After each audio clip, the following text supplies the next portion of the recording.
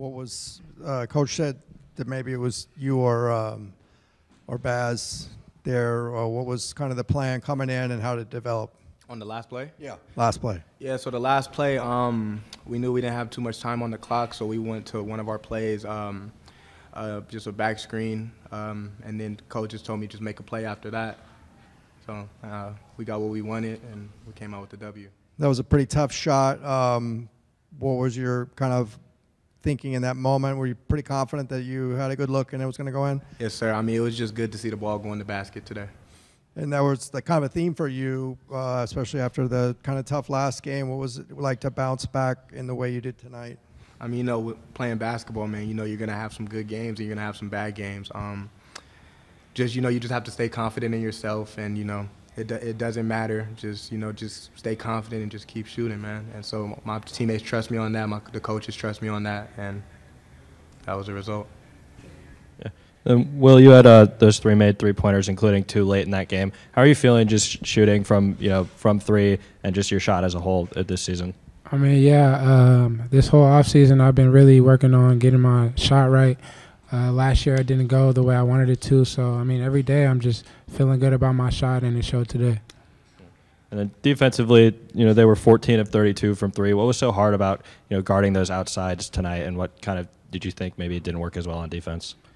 I mean, they did, credit to them. They did a great job of making us pay when we overhelped. Um, I, I mean, being out there, I felt like they didn't miss a shot. So, I mean, honestly, with the result we have, it, it could be worse. And next time, we just got to stick to the game plan more, and we can't we can't let up 14 threes in our home court for sure. Yeah, they made 14 threes.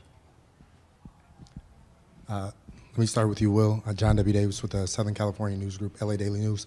Uh, how does it help your confidence to make those late threes? Um, I mean, yeah, it always it always feels good when you see the ball go in. Uh, I mean, knowing we we're as a team we're, we're going to need scoring, uh, whether it be me tonight, whether it be somebody else tomorrow. But I mean, it just it felt good. I mean, obviously it's good for confidence as well. But I've been working all season on uh, getting my shot right. The coaches trust me.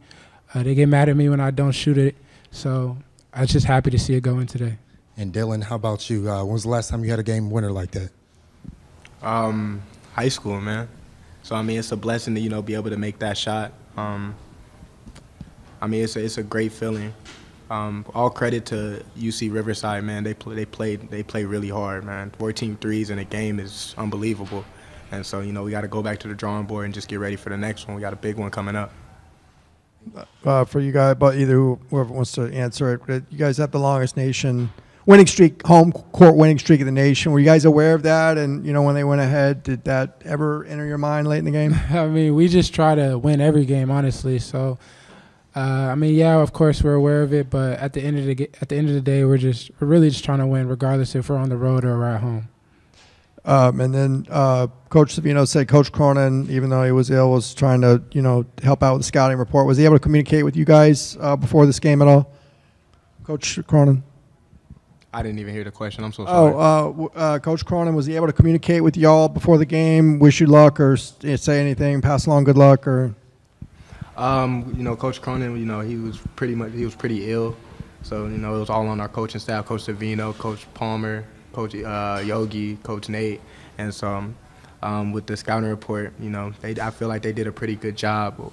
I feel like we could have followed it way better. Um, you know, their main thing for us was that the only like the only way they could really beat us was shooting threes, and we kind of you know bombed that game plan. Uh, and then just for, for either of you, what did you make of the, the style and coaching differences between Coach Savino tonight and how Coach Cronin normally is?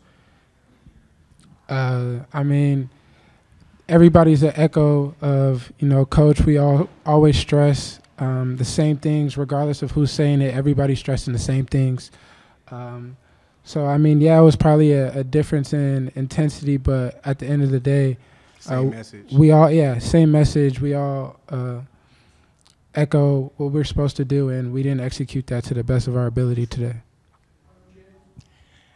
as a game like this develops and a team that is considered a lesser team for, for whatever reason stays with you, how do you react to that? And, and is does experience help you to deal with that and, and understand that, hey, these guys are on scholarship too? I mean, yeah, and I think uh, me and Da probably witnessed this last year, but uh, it's a good wake up call for our whole team. Like anybody can come in, we got to be prepared for every team, because teams like Riverside can come in and and give you a scare like this. So um, it's just gonna bring us all closer together. Like I said earlier, it's better. It's better outcome that we won than we lost. So uh, at the end of the day, we got to do a better job of uh, executing our game plan. Who, one more. Who do you think benefited more from this game? You guys or them? I mean, I feel like you know every game is a learning message for both teams. So I mean, I wouldn't only say that they learned something from us, but we also learned something from them. And at the end of the day, like like Will just uh, stressed on, um, anybody can you can lose any to anybody, and so I feel like that was just like a wake up call for sure. So it was a good message and good learning for us. We're going to end it there. Thanks, guys. Thank you. Appreciate you.